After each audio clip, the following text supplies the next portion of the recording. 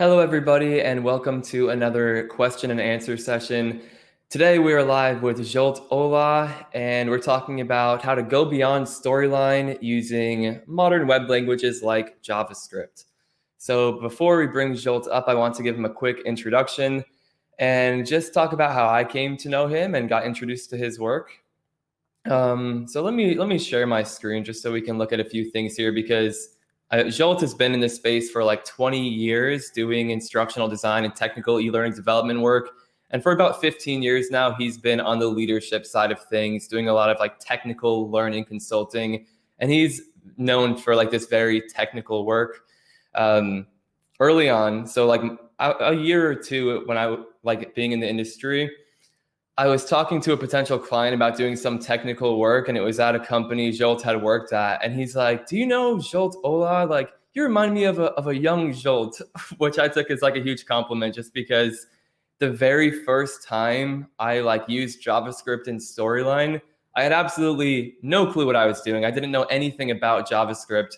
And I came across this tutorial from Zsolt, and I was able to do something per- what I thought was pretty cool. Um, so let me just share my screen. So I was, this is when I was a master's student. I was just making this like storyline project. This person's throwing like some vegan dinner party, and it's your job to identify these like vegan food items. So I built this game with a tool called Construct 3, which is like a completely separate tool to make games. And then you just embed it as a web object in Storyline. So that part was all, all fine, but I wanted them to be able to talk to each other so that once you like collected 25 of these items, it would just bring you to the next slide in storyline. So I was thinking like, oh, this is going to be impossible. But with with Zsolt's tutorial, I was able to figure it out. So once you like collect the right number of these, you know, because this would this is like randomly generated how these are falling. It, it's pretty cool that tool, that construct three tool. But once you get the right amount of these, it will just kind of jump to the next slide. So that for me, I was like so happy when I was first writing this write up. I was like, I use JavaScript, I use this tutorial. I was like, I'm I'm a technical mastermind, but really it was just from following Zsolt's tutorial. So really cool stuff. Uh, since then, he he eventually he created this Pop 99 resource, which is like this full library of how you can use JavaScript on e-learning development projects. So particularly with Storyline and um, Articulate Rise.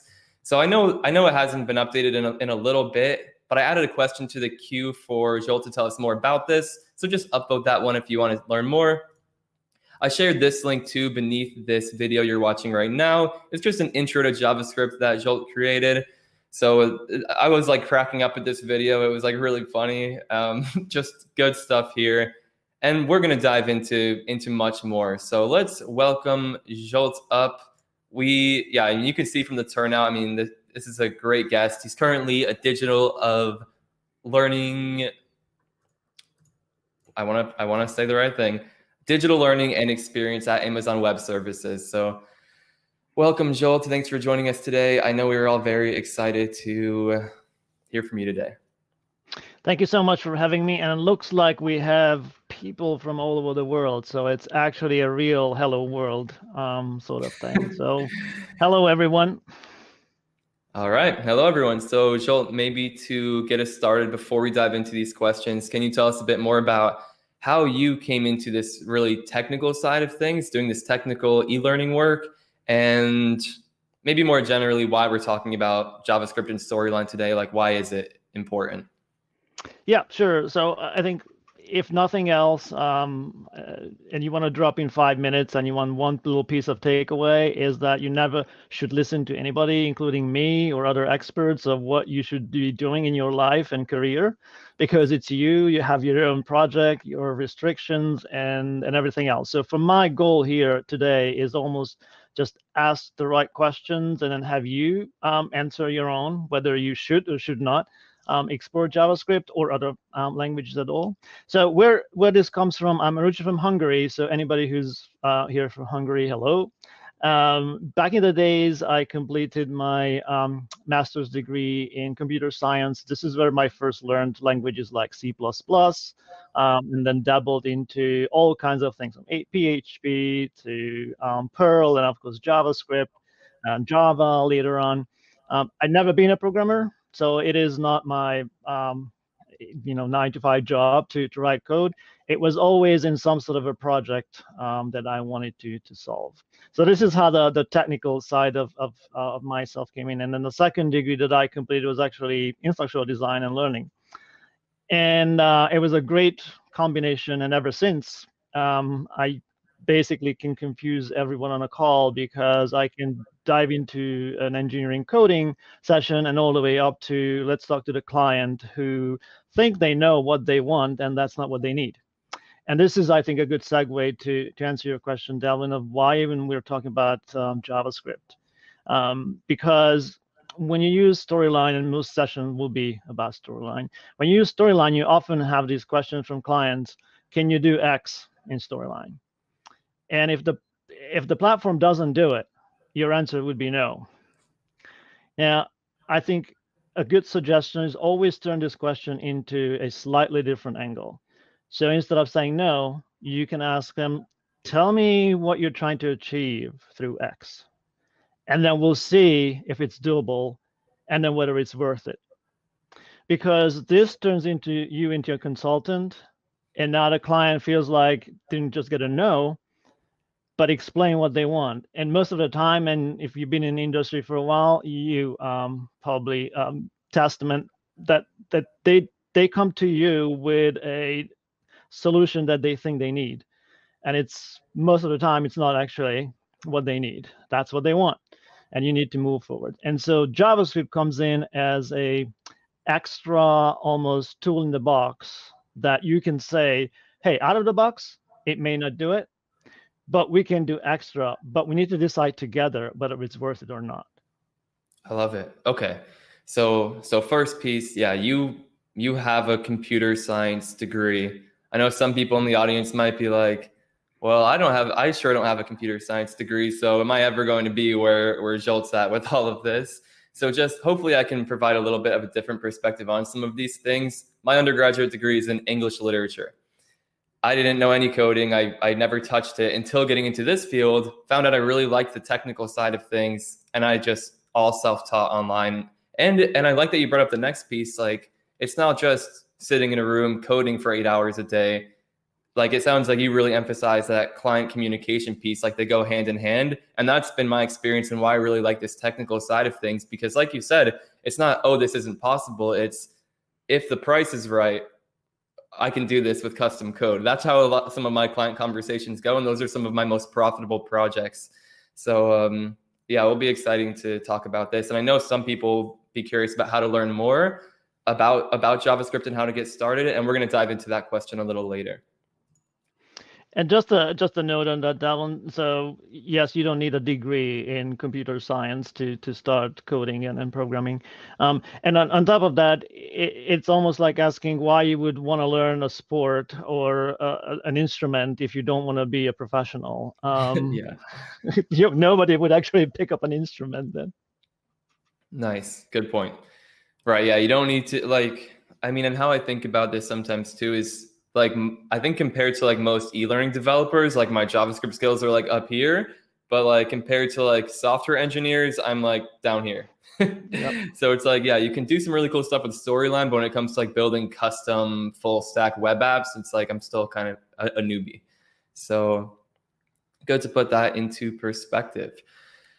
So let's get started with the second most upvoted question here, which is we want to know about some of these custom learning experiences you've developed that wouldn't be possible without custom code. And I know you've probably worked on many of them over the years, ranging from simple things like, you know, bringing in the person's name from the LMS or telling us what time of day it is or day of the week it is, to some really complex things like a like a link you shared with me about how we're like evaluating open text responses like on the fly with code.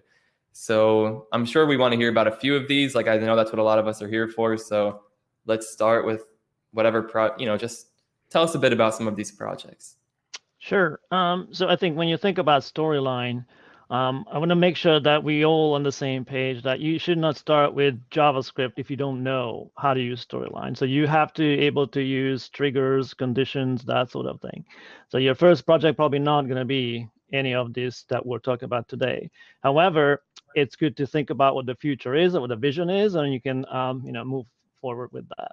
So I think I, I like to think about these in layers. So the first layer of JavaScript is when you can actually do the same in Storyline, but it makes it easier or faster. Um, so things like uh, manipulating variables. In JavaScript, um, you can directly access those variables that you have and make make a lot easier decisions based on their numbers or add text together, that sort of thing that you could physically able to do that in Storyline too, but it would lots of lots of triggers and you have to scroll all the way down. So that's how usually people start yes. with of like, how do I add two strings together? And then maybe look at the number and based on the number, um, I change other variables. The second layer of this is that you cannot do in Storyline, but it would be good to have things like date, uh, math functions. So you can figure out what time of the day it is and greet your you know learners like, hey, based on the server they are, of this is night or a day. Um, you can also time that and save that timing so you can have maybe a timeline of where they landed, that sort of things. Also, math random generator is one of the big things that everybody wants to use. Um, Storyline used to not have a random number, but even now, it is basically a one-time thing. So when you start, you get a random number. But if you want like a simulation of a dice, for example, then it's a simple one line of code, and now you have a random number sort of thing. And then you cannot do that with that storyline. And then you get into the bubble of, okay, these are simple things, one line of codes, um, but what else I can do that's different? Um, the most common thing that I'm asked I'm asked is about communication with the LMS. So let's say I have um, variables I want to save and or interactions I want to save and send it to the LMS and then retrieve them. So for example, to give you an actual example, we have a project now that we're working on, and uh, we wanted to show a video. Throughout the video, um, anytime you can select the button, so up, basically thumbs up, thumbs down, to indicate whether you're really interested in this part or you have questions around it. And then with SCORM 2004, we simply um, use this with JavaScript and store them. So we can make a, basically a report after that and aggregate of where are the, the um, content in the video that people are more interested in, and then follow up with them. And you don't need XAPI, you don't need anything crazy around it. You can simply do that with a normal LMS that supports um, SCORM 2004. But you do need a little bit of a JavaScript um, scribbling there. Nice. Okay, so before we dive deeper, quick recap. So the first, and sounds sounds like you're saying the most basic layer, is just to automate the things you're already doing with triggers, but to vastly reduce the number of triggers. And that was one of my early, early storyline and JavaScript projects too. I had this like Likert scale type interaction with like six rows and like a total, and like clicking each one would like affect all these other things. So I was thinking, I'm like doing this with triggers. I need like three triggers per button. Like it's yeah, it's gonna be like hundreds of triggers on this slide but then I was like, with JavaScript, this would I could just do one trigger for each of these and it would be much more simple. So that's what you're talking about, right? You just need an execute JavaScript trigger instead of like three to 10 other triggers. You can just do it all in a couple lines of code once you know how to grab those variables and manipulate them.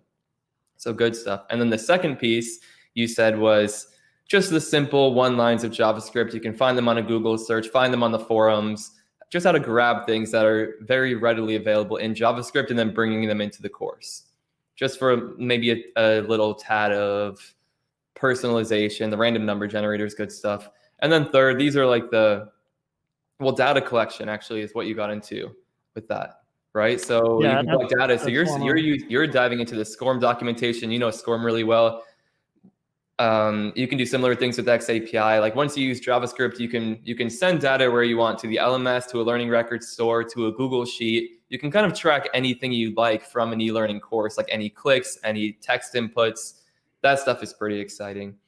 Um, I'm sure there are more. There there are like categorically different types of experiences that you can develop too, though. Once you can bring JavaScript into the mix, and a couple of things I'm thinking of, maybe you want to elaborate on them. Like one you can also bring data like back into the projects. Don't know if you've worked on many like that, but you know, we can show dashboards, things like that. But then also like making multiple tools work together, like the construct three, for example, like other HTML5 things that you're embedding in this program, like VR experiences you can embed and have them talking back and forth. Um, yeah, so this is actually the next layer of now you're not just controlling um, things inside uh, Storyline, but you actually reach out to through APIs. So things simple like if you're using YouTube videos, for example, nice. um, you can embed a YouTube video and control literally through their API of when and what to watch. Um, you can check how much they watched, all kinds of things um, through the two. So it's almost like a seamless experience with that. The same way that you can put in a in a game um, inside, and if you pick up a key in the game, that you can use that key later on to open a door and learn more about it. That nice. sort of things you can um, play with it. I also have to mention that when once you get more and more involved in these uh, different tools, you also have to be aware of of how this affects accessibility. So sometimes throwing things on the screen just because you can doesn't mean that you should. So you just have to make sure that the game itself, for example, is accessible. And you, yeah, it's it, it is doable. It's just you need to be aware of those elements. Good point. Definitely. And then um, and then you can expand it to a little more. So now you have almost uh, a product level or software program level um, things that you can customize. So one of the examples I have here is when I joined AWS, um, I need to learn about the software and um, services that they have. They have a vast amount of, of uh, things on AWS. And so I built for myself a little quiz and it has three layers. The first one is simply a multiple choice question and you answer uh, what is um, Elasticsearch, and then you select the uh, the answer. So this is like the basic thing. Second level, what I was interested in, how can I actually um, use recall, which is a lot more stickier, obviously, we all know learning wise than selecting the right answer, which is most of the time the longest answer. Um, and so for that, uh, what, what we built is um, it shows you the you know Elasticsearch and then a simple open box. Now you have to recall, you have to actually type in what is the definition for Elasticsearch. When you submit it, JavaScript actually runs um, an algorithm called Sorensen dice and brings back a comparison between what you typed in and what the actual right answer is in paragraph. And it's a number between zero and one. So now actually what you can do is based on where you land, if it's really, really not what you wanted, you can give them a feedback like, hey, let's learn about this because it's not right. If it's really close, then you can show that. So in my example, what I did was you type in the answer, push it in, and it runs through about 40, 50 different definitions and find the four that's closest to what you typed in. Wow. And present it as a multiple choice. The funny thing is about it is all dynamic, so there's nothing hard coded in that quiz. It's one single screen and it will change depending on what you type in. So that's available only if you actually build a, a logic around it and then use it with with Storyline. But it's on the horizon. It's effective. Okay. Okay, so help us help us fully understand this, right? So you're saying multiple choice questions, those are fine and all, but we're just saying, yeah, can you identify this? Is your short-term memory working? Does this look familiar, right? You're saying we want to go a step beyond this. We want them to actually recall the information, try to type out that definition in their own words. Let's see how close they get to the real thing. In most cases, you know, most e-learning developers, it's we'll have them type in a response, we'll show them the right response, and we'll say, okay, you compare the two. But you are like, we can do better than that, right? We can build this AI. we can build some algorithm that will that will parse this and see how close it is to the right definition. So I'm with you through there, but you said it runs through like 40 or 50 definitions and then presents it as a multiple choice. What it can you explain more about that piece? Yeah, so um, imagine that you have 40 different products. Um, in, in this case, AWS has um, different products and services, and they all have obviously a title and a definition. You can um, create a actual text file with all these. We used XML for that. So it's all in one file and no hard coded part. It's just that there. When the storyline loads this, um, it's all available in the memory. Right. When you type in what the definition is, what it does is takes that definition and run through every single item in that 40 definition and compares this and this number comes again back in between one and zero and one, and it picks the four that's closest to what you typed in, Oh, and presents those as options now. So basically, what it says, you meant this. I don't have this exactly as you said, but here are four things that's very close. Which one did you mean? I see. So not only are you saying, yeah, that you didn't get this right, right? Like you didn't get it, but you explained this other, you explained something else. Which one of these four were you talking about? Okay, okay, nice. So you're really trying to draw those connections for people. And yeah, you're using this algorithm to make that happen. And it's a double work because one is you need to think about it. You have to type it in, which is recall, the hardest to do for your brain, which we all know um, works well for for recall. But then after that, you can relax because now you can see options, um, and you can select the right option if you type in the right thing. So you can measure how many the right choices you have, which would be your normal measurement. But you can also measure, aggregate how close you got to those by typing in the right answer. So you get two numbers at the end. One is how many you got right. Let's say you got 80% of them right. But you also get a number of how proficient were you recalling them. And now you have a much grainer um, analysis of you can say, yeah, you passed it, but you were barely close to what they actually are. And Yeah, you passed it, but you're not going to really do a great job explaining them to someone else Yeah. from memory. Good. That's that's really and so it's basically just looking for the exact words. Is that the level of complexity? Because you're not looking at like synonyms, right? Like that seems like it'd be kind of crazy. No, so this was not a uh, semantic analysis of uh, if you write one word and 5,000 other words can mean the same thing. Um, it, it- this algorithm is available now, and you can look it up. It's Sorensen Dice. Um, it is basically uh, connecting or comparing two text, uh, not just words. So it's not like, did you type the right word here and right there? It has a little more sophisticated by characters and distance and that sort of thing. Now, that was a couple of years ago when I did that today AWS on the AWS market, you can actually have a service if you want to sign up, uh, an AI service that you send to text and it sends back you the um, comparison of how close they are. So you could use that. True. Okay. Yeah. That that that's nice. So you just use like an API, basically send the response, get back the Yeah, the you could do that. Nice. So I see Don here mention this Magic Virus project. It uses JavaScript from you and others. I'm not familiar with that. Is that something that you wanted? Like, is that an example you wanted to talk about, or does that use any cool Uh, JavaScript? I've never heard of it, Oh, so I don't know what that is, but if they're using Oh, it, it's okay. great. okay. Maybe maybe your JavaScript was just used without, yeah, just from one of your tutorials or resources. Okay, I see. And so um, it's a, I think it's a good segue just to talk about that Pop 99 thing that, Yeah. that happened. So I started publishing these snippets of things, uh, of what you can do with, with JavaScript. And then I was also speaking at conferences when we had advanced sessions of uh, people actually doing things. And everybody asked me where the book is. And it's like, we don't have a book on this. Like, it's a programming language. It's it doesn't need a book. It's like you just need live things to, to play with. And after a while, I was like, okay, let's make a book that's kind of a book. And this is how the project um, 99 happened. It was just not me, it was um, several others. There's a page for acknowledgement of who contributed to that. But we started collecting one place all the little things that you can do with, with um, JavaScript in Storyline and Rise. Grab them as is, as the code, put it into your storyline, and then and then run with it. So I'm a big proponent of tinkering. Pick an example, put it in, see how it works, and start taking it apart and adjusting it for your needs.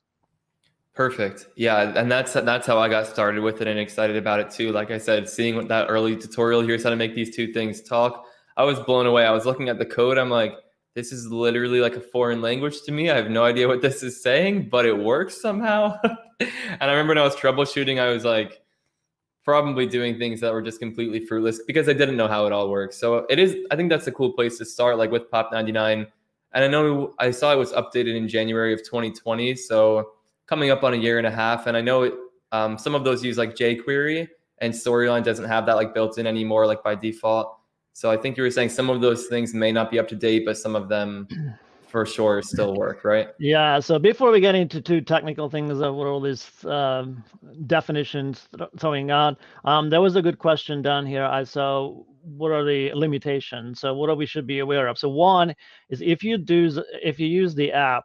So when you storyline, you you you can obviously um, export it into HTML um, five. You can have go to the LMS, the SCORM, and XAPI, all that. But if you do use the app, I never used in my life the app. But if you use it inside an app, um, then JavaScript is not going to work. Um, if you use an LMS, that serves the app, then it depends on the LMS. So you just mm. test it. Uh, most of them are fine with basic things. So that's another layer of of testing if actually happens to be in a uh, in an app. Otherwise, JavaScript, and this is why the reason JavaScript is, is so popular, um, that it doesn't need anything. It's in your browser. In fact, actually, if you right click here and do like uh, inspect, um, you would see all kinds of crazy quick cracks. Yeah. Um, and there's a console, which is your biggest friend when you can type in anything and it works. Um, it just interprets automatically what JavaScript is. Yeah, yeah. So you're referring to the the web browser's console. It's tough when you're starting out because you don't know about all these like workflow things and environment things that you can yeah. use for like troubleshooting and testing your code. So I know I know there are some JavaScript developers here, but I think most people here have probably never written a line of JavaScript in their lives. So we probably shouldn't get too technical here, but yeah, there are just make make use of the console as early as you can when you're getting started with JavaScript. It's a lifesaver, especially when it comes to troubleshooting. And so with that, I think how do you start this whole JavaScript thing? So the first thing I say to everyone is where you're not starting, and where you don't want to start with is the little box in uh, the little white box as a trigger in Storyline. Yeah, that is not where you code. Um, so if you never use JavaScript, you know that there are triggers, and you can add the trigger, and it basically puts you into the little box, the white box. There is no nothing in that box that supports JavaScript, and this is where articulate ends. They say, if you put something here, we run it. But it's up to you to make sure that it actually functions. So that's not where you start coding. Once everything is working outside, you can plug it in and then good for that. But don't start typing in things inside that little box and and and try to make it work. Yeah, so like Visual Studio Code is do you use that tool? That's the tool I use for writing JavaScript. Yeah, so if you go to the POP 99, is actually it starts with this, like literally explains how the browser works. Um, how do you get nice. to without any tools? Just how do you get to your console and type in and get to actually change your variables straight from the browser, uh, which sometimes um, people say like, well, this is a magic I've never yeah. seen. Is like, yes, literally, you can in the console, you can go in and change variables in Storyline on the fly. So there's ex- explanation of, of how to start that. Um, as far as tools, at least you have to have Note Notepad plus plus. So this is like the minimum. Um, yeah. But um, Visual Studio is a good one. Um, um, Sublime Text is a good one yep. that that you want to use. Again, these are not overkills like Eclipse and and other things that people use for actual software development. It's good enough to have the syntax, and you can show exactly you know color wise of of how it works. That's yeah. one. And the other thing that I would definitely suggest is start playing with um, like JS Fiddle, which is uh, literally just you can go to online and type in JS Fiddle uh, .com. And what this gives you is actually a screen when you have JavaScript, you can type in your code. You can have a CSS, which is tells you what a page looks like, colors and that sort of things, layout. And you can have the HTML, which is your content. And then you can run those right there and fix things and see how the three work together. Nice. Okay, right. And for people who are pretty new, HTML, that's the structure of your web page, basically. That's the elements that are included. The CSS, that is how to style those elements, how to make them look pretty, you know, spacing, borders, color, all of that. And then the JavaScript is how you can like make that interactive, make that respond to different user variables and things like that. So yeah, tools like JS Fiddle, you can you can use JavaScript to modify those things and you can see it all update like on the fly. So it kind of saves you from having to like get this whole environment set up and running on your computer. You can just use it right in the browser, focus only on the JavaScript and see what it does to your web page. So good suggestion. Um, I thought it might be helpful if I just share my screen. We keep talking about the console. I think it would be nice to maybe show people what we're referring to. So in most cases, if you just right click anywhere on the screen and go to inspect, you can go to this console tab right here, and this is where you can execute JavaScript. So if we do like console.log hello world, it will just that that's why it you you might have seen this before console.log. It's literally saying log this to the console. and so and that's and that's where it will appear. So when you're like writing code and troubleshooting, you can use these console.logs to like see if your code makes it up to that point. You can log different variables and see if they're equal to what you expect them to be equal to again, we're not getting technical here. This is just a primer. We're talking about the console a lot, and you'll see errors here too if you know things go wrong. So it's invaluable for troubleshooting. And this is where Zsolt is saying you can open up a storyline course, open up the console, and then you can start um, modifying those variables right here from the browser. That's where you can start to see some of the magic of JavaScript, so to speak. So great suggestion. What so this one thing that uh, I wanted to mention because there, there, was um, a, a, big uproar here a couple of uh, days ago when I posted that um, yes, you can go in and complete yes. the course um, in that console, literally in three lines of code. Yep. You can complete your e-learning course, and then your LMS says, "Yep, you're done." Yep. Um, it may or may not work depending on uh, on your e-learning course how it was created, but most of the time you can technically, if you know what to type in you can open up your course, the console, type in to send the completion, send the score, and then the LMS is gonna just say, "Yep, you're done," and you yep. never ever went through any the course. You're done. Yeah, because that's... so this is what JavaScript does. It's kind mm-hmm. of magic. Yeah, because that's how that's how the course is communicating to the LMS already. It's using JavaScript, so all you do, write those few lines, commit the score, and there you go. It registers on the back end, 100% complete. I thought about that when I first learned that. I'm like, does that mean you can literally, you know, all scoring packages are just a couple lines of code away from 100%? it's kind of silly. Yeah. I saw people asking for a tutorial. Maybe you should throw that one together. um, but uh, let's make sure that we step back one again because um, a little higher. We, we we mentioned this. This is not a technical course of what to type in and how to how to work. Um, so one thing is, do you really need JavaScript at all? So you can be an e-learning developer happily ever after without touching any of those uh, lines. You, I'm sure there are probably 60, 70% of people out there who, if they need something, they actually go to someone who knows how to do that like me or others and ask for help. So you don't have to just for the sake of uh, of, of getting a job because once you actually do that and you claim that you have JavaScript experience, you might actually get a job and now you have to use it. And if you don't like it, then it's basically a, a trap. But one thing I definitely want to make sure, whether it's JavaScript or any other um, programming languages, it's not the code um, that's so important, I think, um, for everyone, but more like the way programmers think uh, of how you can see a complex problem and take it apart into smaller chunks all the way down to the the individual isolated things um, that in in um, in a code it might be like a function uh, sort of thing. So you really you can re- reconstruct and then reconstruct those problems both for troubleshooting and then for building.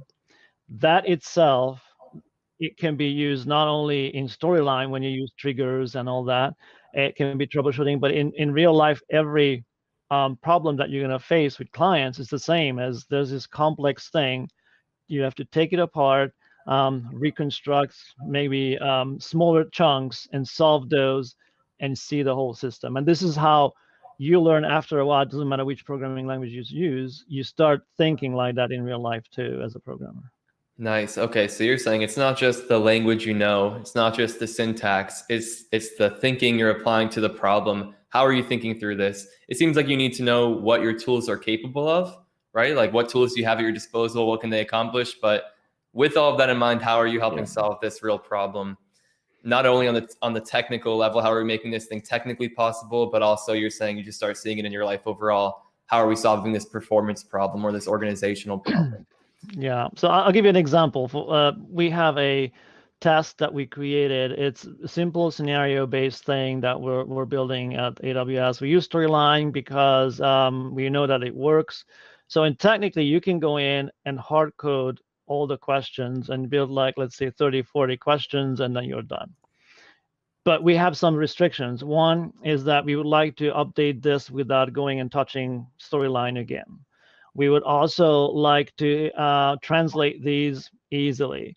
We also want to make sure that we can pick on the fly certain parts of these questions based on a group.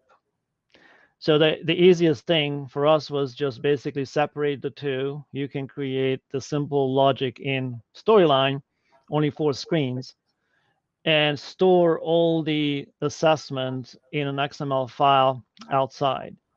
And it loads it and it shows you and walks you through the assessment. If you want to change something, you just change the XML file. You can send it to your reviewers, um, change the text, nobody cares, put it back again, and it works without, again, republishing or touching any of those. So that's one way to think about how you separate logic, UI, and then content at the same time. Beautiful. And just to just to reiterate that, because I want to make like that's that's really cool for some people. I want to make sure everyone heard that. Like, Zsolt, yeah, they made this thing at AWS. Storyline, the programming is all there. There's some code to query this text file essentially. And and what Zsolt is saying is now, if you want to make changes to that text, you want to translate the text, you just open up that text file, change the text there, and it's updated just like that. Storyline is pulling it from there. You don't need to republish. All you do is press save, and there you have it. so uh, yeah, you hear there's about a little a more. Yeah, there's a little more into it, but yes, because unfortunately, LMS doesn't sometimes work that way. That you can just yeah. update one file, but in technically, you could just um, create one file as the um, owner of all the um, ingredients for your assessment. Now, this is not just the text of what's in it, but also imagine this is this is where programming thinking comes in of how do you create a standalone item that has all the um, attributes? So let's say has a title, has a subject or a body. It has whether it's true or false, so how many points you get for that, what's the ranking, what is if you miss it the feedback, what is the follow-up scenario if you um, need a follow-up scenario, all these into one little piece, and then just use them, store them in an XML somewhere else. Nice. Okay. But it's just another one of those examples of yeah, do the hard thinking in the beginning, figure out this system, think about how you can make it super efficient going forward. So then it's like you're you you make that initial investment, and it's just so much easier making the changes and the updates down the line. So yep. that that's kind of how I view development, you know, JavaScript development in some way. It's like this huge upfront investment of like learning it, or at least it was for me, like definitely a sizable investment. But now it like pays off on every client project I do because there aren't many people who who have this skill set. So it, you can charge some really nice project fees for doing that type of work. Um, because yeah, most e-learning developers, if they don't have that skill set, they'll say it's impossible. So um, good stuff there. Before I moved on from this question, I did just want to add a few more resources about how to learn JavaScript and custom code. There were a few that really helped me. I think Free Code Camp is where I started. It was free. It gets you, it introduces you to the basics and introduces some projects that you can build. Um, a really cool one though that I found a little later on, I wish I would have found earlier, is called Scrimba. So that's S-C-R-I-M-B-A dot com. And that one, similar to JS Fiddle, it's kind of like you're watching a screencast. The instructor is like talking over it, explaining the code as he writes it, and there's a browser over here. But the cool thing about this is that anytime you can pause the screencast, edit the code on the screen, and see the changes it makes in the browser. So once they introduce a concept, you can just make all the changes you want, really make sure you, you know, practice with it. And then you just press play and it jumps back to where they were in the video. So it, it was, so, it was really cool. And there are some good, um, really good JavaScript courses on there. So I just wanted to throw those two suggestions out before we moved on to a new question. But good conversation. We're jumping all over the place. Um, this next most updated one is I think you've already answered this a bit. It's about, you know, do you recommend that all e-learning developers learn JavaScript? But you're kind of saying unless you unless you dive into it, you find that you actually like it. You really enjoy this technical side of things, diving into the code. It might be a bad idea to learn JavaScript and to put it out there that you know JavaScript because then you might get jobs that ask you to do it every day. If you and if you hate it, it's not going to be a good time. so we have uh, at, at, Amazon we have one of our principles is a so-called two two door two way door um, decision when you can go in, see what it looks like, feels like, and as long as you can step back and there's not no harm, then why don't you just try it? So it's not a decision of yes, no. Um, it is a decision more like how far, and then see if it's worth it. So set aside some time and say, okay, I'm going to spend X amount of hours and see if this is something for me or not. Um, but one thing I strongly suggest is start with something that that fits your style.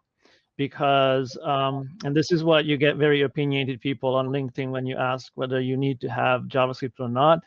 If someone really knows javascript they say this is the best you have to have. If someone doesn't they might say like no um, because you don't need that. Just go to someone who's professional. So the, the point of, of this is that if you're a person who go to ikea and buys furniture and opens that wonderful black and white thing and start with page one of like, okay, let's see, we have one screw here, this size, make sure that I have, and you spread it out. If you're that type of person, start with that sort of learning, the basics outside of storyline, the basics of, of understanding the fundamentals of how it works, what it is.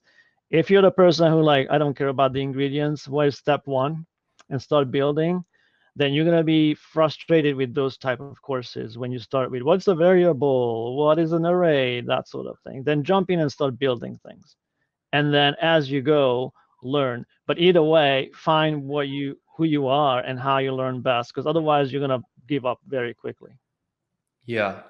Yeah it helped it helped me a lot trying to learn those fundamentals learn the core language and then actually start building something and you're gonna have to Google something like every 10 minutes, and then you'll you'll find resources that you don't understand, and then you'll come back a week later and just it, it is it's tough, right? Like it's it's not easy when you actually do get into building the projects, but um, having that foundational language really helps. Yeah. So on top of that, your biggest friend will be Stack Overflow. So if you don't know yes. what Stack Overflow is, it's basically the magic place when all the questions in the world has been asked and answered. Yes. there is not one question I had ever that wasn't answered already somewhere on Stack Overflow. It's basically the website Stack Overflow. And what it's amazing and this is why part of uh, its gamification is that um, that site has been around for a long time because they they actually achieve what many uh, failed at. Um, they what they did was and now everybody has this i think feature is that they're not promoting and rewarding um, people who post. They're rewarding the right answers. So what that brings in is if you ask a question a lot of people come in and chime in. You as a poster say this is the best answer. And others can up and down vote so what happens is that you get this social status of I've been answering questions and I have a higher status, which brings people in to help others. They have this cycle of people donating their time to answer questions and they don't get anything for it. Yeah. Um, but it's an amazing that every time you have any question, the first even just Google it, the first one probably a stack over. Exactly. Yep. Um, answer. Yes. So that's, I, I get the impression from talking to more experienced developers that the Googling and spending the time on Stack Overflow is just like part of the job.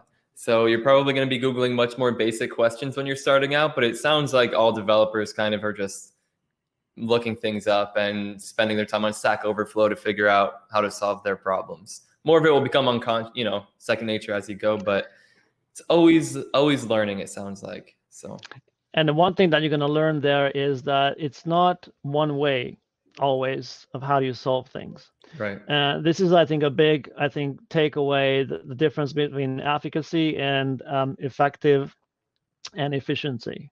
So when you start out, your goal is not to be perfect. It's like you go to a country and a new language. Your goal is not to be perfect in the language. But usually have the goal of not to be sold and not to be misunderstood critically. That's the level that you're looking for. And then after that, you can polish.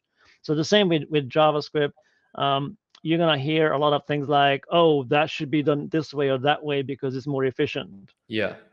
They, we're not on the level. We're not building thousands of thousands of lines of code and it should be efficient because that might be a one millisecond um, faster way to do that. We're just going to get the job done most of the time yes. with, with Storyline. Great example. Good, good, good. Okay. Let me see. I think we had a relevant follow up question to that. I want to find it. Okay. So this is a slightly different angle on that question. So when you are looking at applicants, so instructional designers or e-learning developers looking for work, do they stand out if they have this front end development or JavaScript skill set? Assuming they've been in the field for a few years, like I don't think we expect like new people coming into the field to have this skill set. But yeah, where where does that play into things when you're evaluating new hires, or does it depend on the role you're trying to fill? It is really a, a role in a team. So this is um, you have, and maybe it's again it's a question of of where you like to work. There are different, I think, types of work. You can be in a large company when you're part of a team, 20, 30, 40 designers and developers. Um, and everybody does one thing so you have people who are taking care of your graphics, other taking care of coding and technical stuff, and you're designing or um, one tool. You can also work for a small agency um, or a nonprofit sort of thing when you do everything. This is where I, I, I get a lot of, of comments from that I'm a one person department and I just solve one thing for them and they think um, that I'm a, a genius. Um, and all I did was just copy pasted something from a code and put it in, and now it works. So it depends on where um, and what sort of um, uh, role it is, and also what I think their team dynamics are. So if they do need someone who's more technical, um, they'll like that. Good point. Right. And I, I, I I've noticed in some positions at like Amazon and AWS, like one of the nice to haves I've seen popping up is like XAPI or like HTML, CSS, JavaScript. But it seems like in a lot of cases it's nice to have unless you are doing something where you're going to be in there coding on like a daily basis. That's the impression I get at least. And I would say more uh, on a resume if you actually tell what problem you solved, um, what was the business problem, or work with a client of what was seemed to be impossible and you solved it rather than just I have a skill of using X- yeah. XAPI or JavaScript. Sometimes your manager has no idea of what JavaScript is. Um, they just want to make sure that they bring on someone who can do X, Y, Z, and it said, "Hey, I can do more than just out of the box." Great point. Okay, good. So not just making about your skills, talk about the the real problems you can solve and have solved. I like I like that. Okay. So looking at the next questions, I think we've probably already answered this one pretty well. The benefits of using JavaScript with Storyline, you've kind of listed the tiers of benefits. You can work more efficiently because you can use fewer triggers. You can create some really cool types of interactions that wouldn't be possible otherwise. You can collect data, really specific data from these learning experiences that are not possible. That's not possible out of the box. Um, again, that efficiency, you can kind of separate those concerns, do all of your programming in here, and then you can store the content somewhere else, make it super easy to update. And am I missing any any or am I missing any big ones? Benefits? Um, and just like I think the APIs of you can connect to any other system. The LMS is obvious because you put it somewhere. Um, but there are other things that that gives you uh, a way to connect, um, whether it's within your little package or outside um, right. like a web web uh, object. So sometimes, for example, a web object doesn't actually have to be on the screen. Uh, so example would be uh, some kind of a library that helps you calculate distance and physics and whatever it is. It's not for the user to see. It's for you to get um, the input and output. And now you're magical because you can build a house and it actually knows when to get from one place to another and there's an open door or a closed door because you have these little, little things going on in the background that kind of mimics so all these things that doesn't really have to be on screen sometimes backend sort of behind the scene magic that you can nice. do Great. Yeah. Okay, good. Very helpful. Cool. And I think we have time for a couple of more questions. We'll see if there's anything highly uploaded that we haven't covered. Um, this question is Can you use JavaScript or custom code to extend other, other e learning authoring tools as well? So it sounds like anywhere you can you can add that JavaScript, anywhere you can maybe modify that HTML file, you would be able to use some of these features.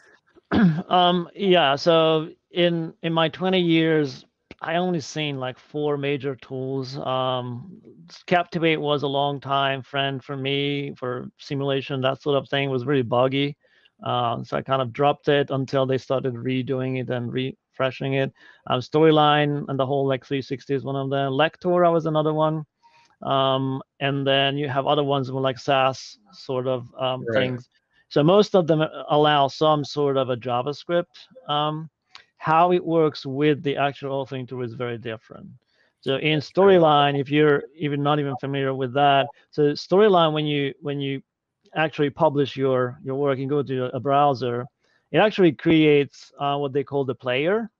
it's almost like in the browser there sits something that's called Storyline, and it handles everything. So you don't really see inside of what's happening. It just handles the screen and interactions and that sort of thing. That's the output. JavaScript is not inside that thing. You can't get inside. It's sitting on the browser somewhere outside. And so what you have to learn is how to talk between the two, which is very simple. Once you do a couple of um, you know examples, you see how they can talk to each other. So the, the this JavaScript is sitting outside in the browser. It's not actually inside your your storyline thing.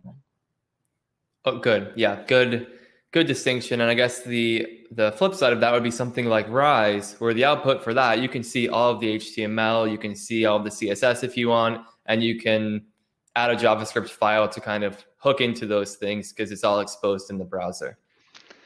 Um, and that would be the fifth layer, which we didn't really talk about, the hacks. Um, the hacks. so the the hacks is like the thing that you're not supposed to be doing.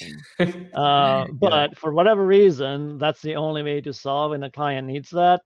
You can. So, for example, Rise, when you go to the POP 99, there's a couple of Rise examples of how to add JavaScript post um, exporting. So you're not going to break Rise per se. You can export it as is but add a little bit of manual thing, add a JavaScript into that. And so an example would be ask your name, you type in what your nickname is, and then actually use that inside Rise. Um, I also did that for customizing what you need in Rise, hiding some of the chapters, showing other things. So a lot of things that you can do once you understand how the structure is, but that's a hack. Nice. So the fifth layer are the hacks.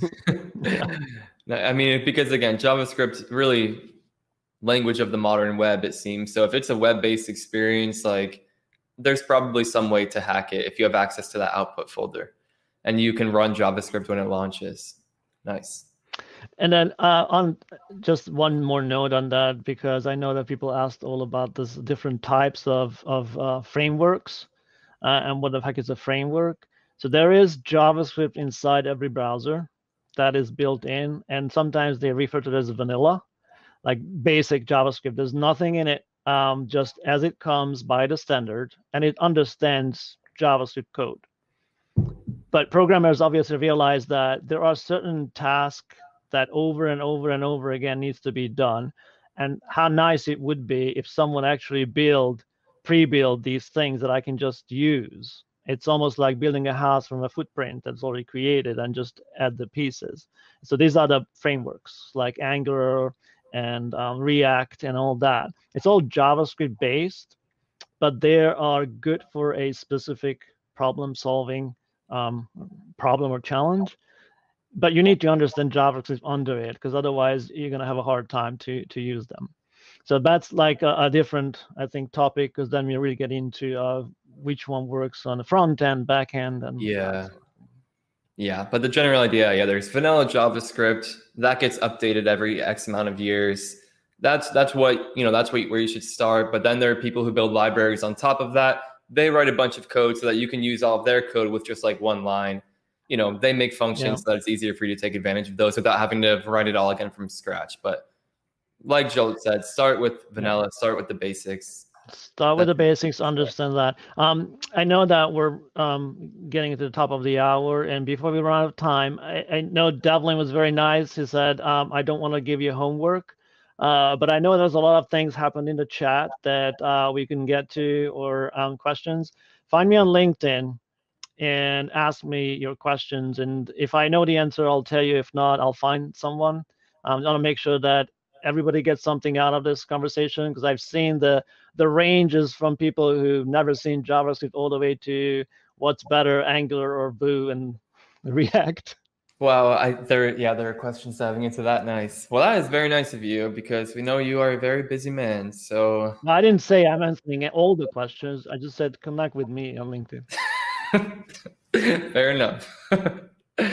nice. Okay, we have a few minutes. Do we want to do you want to tell us about another project you did? I see we have a question here from Claudette, JavaScript programmer. Um, they're intrigued with the possibilities of Storyline in JavaScript. What is the coolest thing you've done? You've already told us about some really cool things, but um, any others that come to mind before we wrap this up? Um, so I think it depends on how you define cool. Um, True. So my my solutions, but usually is we cannot do X for the client and then I came in and said, yeah, we could, but let's sit down and talk through it, whether we, we want to do that. And is the client okay with it? So one thing uh, that we, we built is uh, it was for a um, onboarding when when storyline was the base when they learned about the timeline and all that but they can get into actual rooms inside so there was a history room there was a culture room and that sort of thing and that used a lot of JavaScript um, to make it personal and you interact with objects and collect things um, as you went through rather than just um, the sheer JavaScript. And uh, one we, weird, I think, request I get one once is there was a client who wanted to use a test, but it was a time test. So you had, let's say, 20 minutes to get through that. Even if you close the window and you came back, it, it should count the time. So what I had to do is actually um, do a little trick in JavaScript to to measure what the last time they used it, whether next time to run it, figure out what the time difference is, and whether they're within that time frame or not. So there was wow. a lot of like workaround to one little thing to solve this problem that they wanted time, absolutely timed stress. yeah, yeah, it's when you start thinking about how it needs to work across devices and browsers and everything, things can get tricky. How you're holding that information, how you're accessing it. But great examples. Thank you for sharing all this with us. Yeah, let's get a big thanks for Zsolt joining us here today and offering to answer follow up questions on LinkedIn. So I think I will share your, I mean, people will find you. It's Zsolt Olah. I'll share your LinkedIn link as well, just so people can connect with you there. I'm sure many of you already know Zsolt and are connected with him but just in case, there is the link. And I will talk to you all soon. Thanks again, Zsolt. Uh, we'll talk soon as well. Thank you so much, and see you, everyone. Good night, wherever you are. bye bye, everyone.